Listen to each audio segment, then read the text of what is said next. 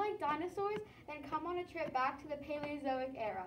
The Paleozoic era ended around 252 million BC and started at around 541 million BC, and it was around 300 million years long. Now, what happened in the Paleozoic era? The Paleozoic era mostly consisted of marine life. This era is best notable for marine animals evolving into amphibians and other land creatures.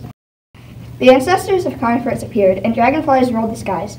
Tetrapods were becoming more and more specialized, and two new groups of animals evolved. The first were marine reptiles, including lizards and snakes. The second were the archosaurs, which would give rise to crocodiles, dinosaurs, and birds. You will be able to see all of these amazing creatures on our trip. Also, during the Devonian period, the first seeds developed on land. You'd be able to get you would be able to see some of the earliest plants on Earth. To see all the animals during this time, you would have to wear a scuba diving suit. Because most living creatures were underwater, you would have to be careful of some hostile creatures like the Helicoprion, a prehistoric shark. So you may think about bringing a spear, just for backup. You probably won't need it, maybe.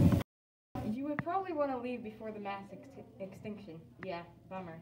But this mass extinction was called the Permian extinction, which this was when around 96% of marine animals died from low sea levels and changing climate. It would later take around 30 million years for the life to fully recover. Unless seeing dead animals is your thing, you probably want to rethink coming at this time. We hope you choose to come here. You would just have a magnificent time. We are not responsible